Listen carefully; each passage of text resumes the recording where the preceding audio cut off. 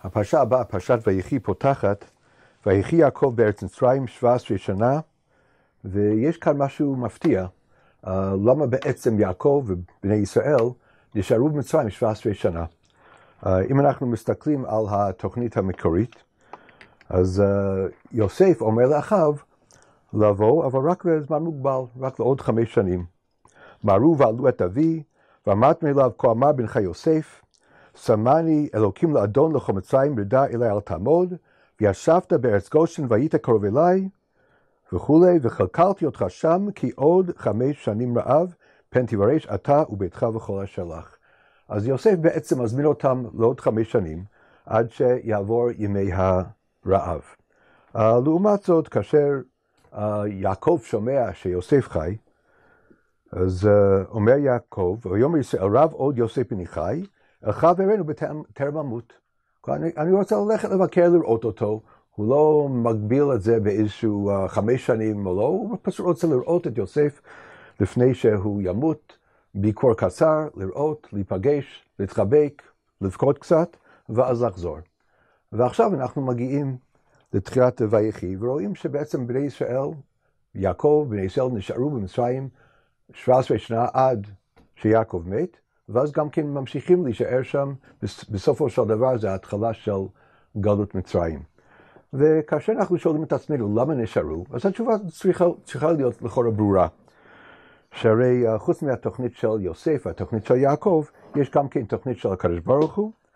Um, ויבוא באר שבע, ויאמר אלוקים לישראל במרות הלילה, ויאמר יעקב יעקב, והמעבר מישראל יעקב מאוד מאוד ברור כאן, בגלל שפתאום תהיה איזושהי uh, נבואה על גלות מצרים.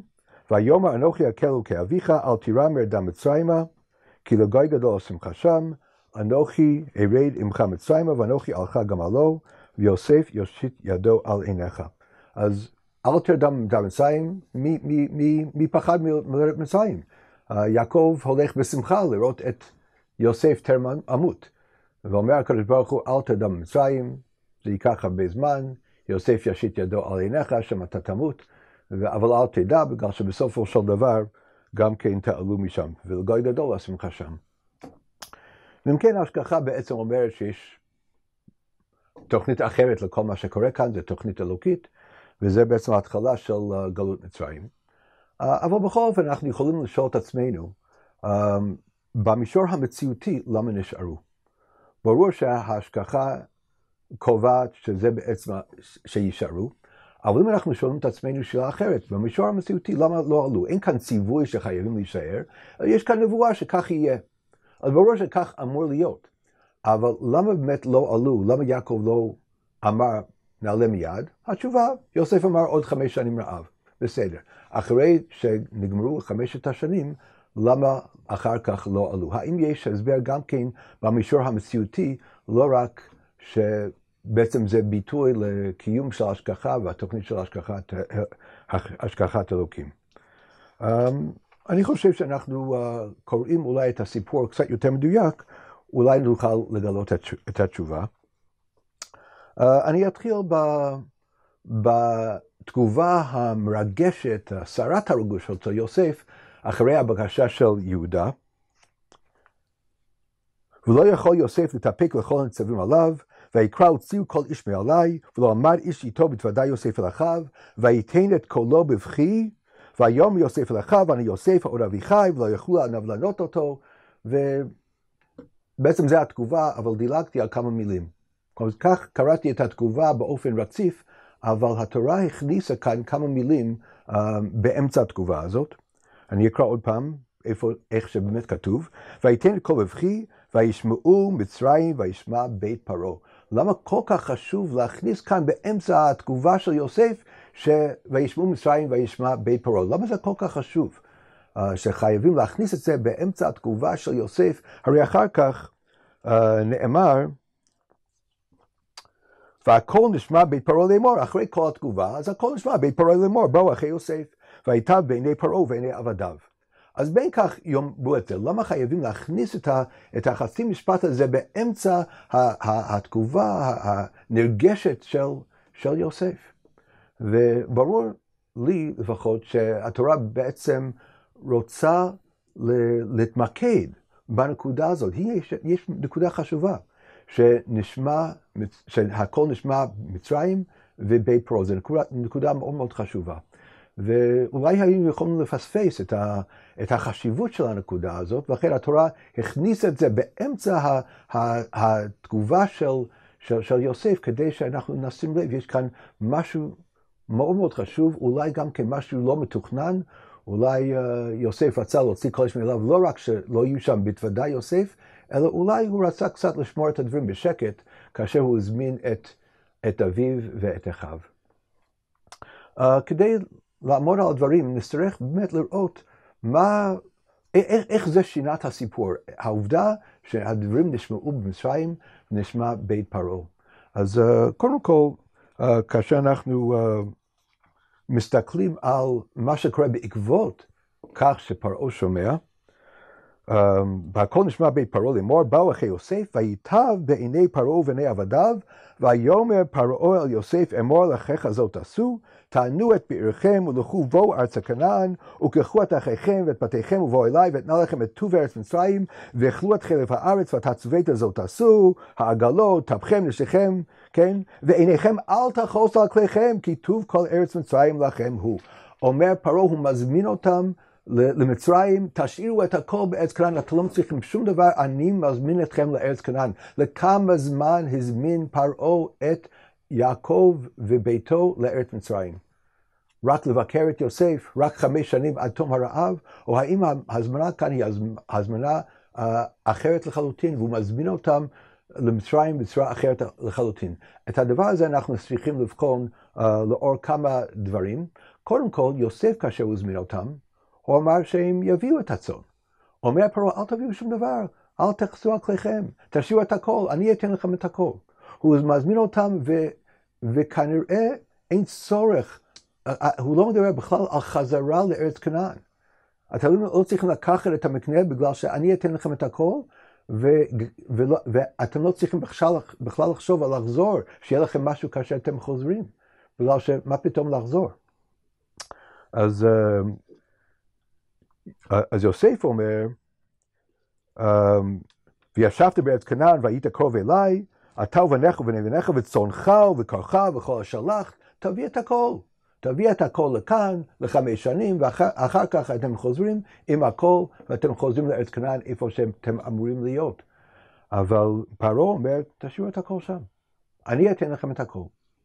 וכדי שאנחנו נבין מה בעצם מהות ההזמנה, אז יש אחר כך, אמ, תמרון מאוד מעניין של יוסף, כאשר בסופו של דבר באים למצרים, וכאשר באים, איך באים? האם באים כפי הציווי של פרעה, משאירים את הכל במצרים, או האם מביאים את הכל? אז uh, נאמר, את מקניהם ואת רכושם אשר רכשו בארץ כנען ויבואו מצרים ויעקב וכל זרעו איתו. באו עם הכל כמו שאמר יוסף, לא כמו שאמר פרעה. הם כן באו, הביאו את הכל. והנקודה הזו מאוד מאוד חשובה uh, לאור מה שיקרה בהמשך. כן, ויאמר יוסף אל אחיו ואל בית אביו, אעלה ואגיד אל פרעה, ואומר אליו אחי ובית אבי אשר בארץ כנען באו אליי. ואנשים רואי צאן, כי אנשי מקנה היו, וצאנם ובקרם וכל השם הביאו. אז אני אגיד לפרעה שאתם כן הבאתם, אתם אנשי צאן, והבאתם את הצאן. עכשיו, אנחנו יודעים שתועבה לארץ מצרים כל רואי צאן. ואתם באתם והבאתם את הצאן שלכם. והיה כי יקרא לכם פרעה ואמר מה, מה מעשיכם, ואמרתם, אז עכשיו הוא אומר להם, אני אזמין אתכם ואתם תבואו לפרעה. הנה, זה מה שאתם חייבים להגיד. ואמרתם אנשי מקנה היו עבדיך מנורינו ורעת, גם אנחנו, גם אבותינו. למה הוא נותן להם את הנאום הזה? למה הוא, הוא, הוא כותב להם את התסריט? מה הם חייבים לומר uh, לפרעה? בעבור תשבו בארץ גושן, כי טובת מצרים כל רועי צאן. כדי שהם ישבו בארץ גושן. כל, בעצם מה שאומר פרעה, תגיד לאביכם ובואו אליי. תבואו אליי, תבואו לעיר הבירה, תבואו לחצר המלכותי של פרעה, הוא מזמין אותם להיות חלק מהאצולה המצרית. ויוסף רוצה למנוע את זה, ואומר, לא, תגיד שאתם רועי צאן, באתם מצאן נגד מה שאמר פרעה, באתם ממצאן, ותועבת מצרים רועי צאן, לכן אתם צריכים לשבת במקום אחר, לא בתוך עיר הבירה, אלא במקום יותר רחוק, בארץ גושן. וככה באמת נעשה. ומקצה אחריו לקח, ויאמרו על פרעה צאן עבדיך, גם אנחנו, גם אבותינו, ויאמרו על פרעה, הוא לא מגיב, אז הם הוסיפו, כן, הוסיפו מה שפרעה היה צריך להגיע למסקנה לבד, ויאמרו על פרעה לגור בעצבנו כי ארץ הצאן אשר עבדיך, כי חבר הרב בארץ כנען, ועתה ישבו נא עבדיך בארץ גושן. אז uh, לא רק שהם מרמזים שהם לא יכולים להיות בבירה, הם אומרים במפורש, אנחנו באנו עם הצאן, בניגוד למה שאתה אמרת, ולכן אנחנו מעוניינים להיות בארץ גושן, בגלל שאין מרעה בארץ כנען. ואז ויאמר פרעה יוסף לאמור אביך ואחיך באו אליך. Okay? אני אמרתי בואו אליי, בעיר הבירה, בואו לחצר שלי, בואו להיכנס. הוא מזמין אותם להיות חלק מהאצולה המצרית, ואומר באו אליך, אוקיי? Okay? הם ישבו בארץ גושן, בואו אליך. ארץ מצרים לפניך, מתרץ, הושט אביך, בארץ גושן. ובכל זאת, אם ידעת ויש בם אנשי חיל ושמתם שרי מקנה על אשר לי. אף על פי שהם יהיו בארץ גושן, אבל ההזמנה בעצם להצטרף לאצולה המצרית עדיין עומדת בעינה, עד כדי כך שהוא מזמין אותם להיות שרים בממשלה המצרית, להיות שרי מקנה על אשר לי. Um, עכשיו, זאת אומרת שפרעה לא מזמין אותם לחמש שנים, אלא פרעה מזמין אותם כמו שהיה ביוסף. הוא גייר את יוסף, הוא, כן, הוא הפך אותו להיות אזרח מצרי, הוא שינה את שמו, שינה את מלבושו, החליף את בגדיו. נתן לו בת של, של, uh, של כהן און, והפך אותו להיות, uh, לפחות למראה עיניו, להיות, להיות מצרי ולא להיות עברי. הרי העברים לא יכולים לאכול uh, לחם עם המצרים, והוא הופך אותו להיות, להיות מצרי.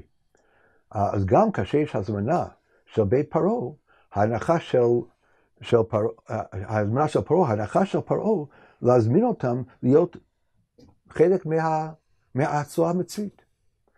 ולכן הוא רוצה להזמין אותם לבירה, הוא לא יכול, הביאו את הצאן, אז הוא שם אותם, ב, ב, ב, הוא שם אותם ב, בארץ גושן. אף על פי כן, ההזמנה של פרעה זה הזמנה טוטאלית שהוא מזמין את בית יוסף להיות חלק מהעם המצרי, חלק מהאצולה המצרית.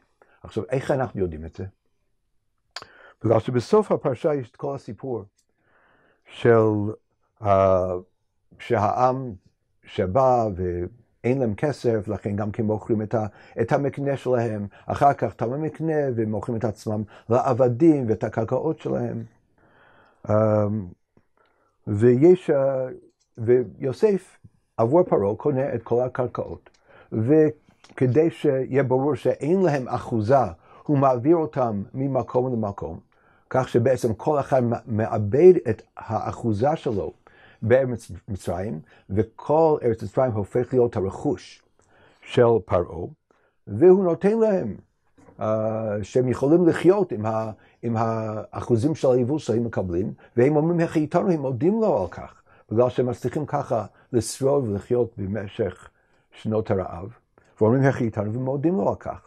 ובכל זאת כל מצרים מאבדים את, ה, את, הקרק, את האחוזה שלהם, uh, בגלל שאין להם לחם לאכול, חוץ מכהנים. ויהי כן יוסף כל אדמת מצרים לפרעה, רק אדמת הכהנים לא קנה, כי חוק לכהנים את פרעה ואכלו את חוקם אשר נתן להם פרעה. בגלל שיש חוק לכהנים, הם מקבלים לחם, הם, הם, מתפר, הם מתפרנסים על ידי פרעה, מקבלים את חוקם, ולכן הם לא צריכים למכור. אז עכשיו בואו נסתכל על מה שקורה לגבי בני יעקב, יעקב ובניו. אז כאשר uh, מתחילים את ה... ולחם אין בכל הארץ, מתחילים את כל הפרשה שמכרו את הכל ואין להם שום דבר עד כדי כך שגם כן אחוזה אין להם, אז קודם כל uh, זה מתחיל, ויושב יוסף את אביו ואת אחיו וייתן להם אחוזה בארץ מצרים. הם מקבלים אחוזה במיטב הארץ כאשר ציווה פרעה. הם מקבלים אחוזה בארץ מצרים כאשר ציווה פרעה, ואחר כך ויכלכל יוסף את אביו ואת אחיו ואת כל בית אביו לחם לפי הטף. כמו שקיבלו הכהנים. ולחם אין בכל הארץ, אבל כל שאר המצרים אין להם שום לחם. מה מצדיק את זה שבית יעקב מקבלים לחם? יש להם מעמד מקביל לכהנים, שגם כן הם מקבלים את חוקם מאת פרעה. ואחר כך מוכרים את הכל, ורק אדמת הכהנים לא, פרעה לא מקבל, ואחרי כל הפרשה הזאת, אז נאמר, ויושם אותו יוסף לחוק על היום הזה, על אדמת מצרים לפרעה לחומש, רק אדמת כהנים לבדם לא הייתה לפרעה, וישב ישראל בארץ מצרים בארץ גושן ויאחזו בה, ויפו ויבו מאוד. חוזרים שוב לנקודה הזאת של האחוזה. אז מצד אחד, בני יעקב מקבלים לחם, מצד שני הם גם כן, יש להם אחוזה, וזה מה ש... Uh, בעצם הסוגריים מסביב לפרשה, שהמצרים בעצם איבדו את הכל. בגלל שלחם אין בכל ארץ מצרים, ולכן גם כן, בסופו של דבר, גם כן מכרו את אחוזתם. מה מצדיק את, ה, את, ה, את האפשרות הזאת, שנותנים את זה ליעקב ולביתו, כאשר זה הופך להיות דבר שכולם יודעים, כולם מכירים. זה לא דבר שנשמר בסוד, שיוסף מזמין את משפחתו, וזה עניין משפחתי, והוא דואג להם, אלא זה הופך להיות משהו לאומי ברגע שפרעה מזמין אותם, ונותן להם את טוב ארץ כנען. אז פרעה מזמין אותם להיות חלק מהצורה המצרית, שרי מקנה על השלי. ולכן מוצדק שמפרנסים אותם, לכן מוצדק שמקבלים אחוזה ולא צריכים למכור, למכור את אדמתם. אז אחרי חמש שנים של, של רעב, כאשר עכשיו יש אפשרות לחזור לארץ כנען, האם הם יכולים? האם הם יכולים uh, לתת סטירת לחי לפרעה שהזמין אותם להיות חלק מהצורה המצרית ונתן להם את ארץ גושן? האם במישור המציאותי הם יכלו פשוט לקום ולעזוב עם המקנה ולחזור לארץ כנען, אחרי שההזמנה המאוד נדיבה של פרעה, שמזמין אותם, שבזמן שנות הרעב קיבלו לחם וקיבלו אחוזה וקיבלו את הכל, הם יכולים עכשיו פשוט לפנות עורף ולחזור, ולחזור למצרים? האם זה יהיה אפשרי במובן המציאותי? לכן, מה, מה, בערך, כאשר בעצם הדברים נשמעו בי פרעה, ויטב בעיני פרעה, ואומר, באו אליי ומזמין אותם להיות חלק מהצורה המצרית, שרי מקנה על השלי, והם מקבלים אחוזה ומקבלים פרנסה כאשר ציווה להם פרעה, אז בסופו של דבר נוצר גם כן את הסיבה המציאותית שלא היה אפשר uh, לחזור ב- לארץ כנען בלי לפגוע בפרעה שנתן להם כל כך הרבה. ולכן אה, כאשר אנחנו מגיעים בדיוק אחרי הפסוק הזה, ויחזו בה ויפו בהם מאוד, ויחי יעקב בארץ מצרים שבע עשרה שנה.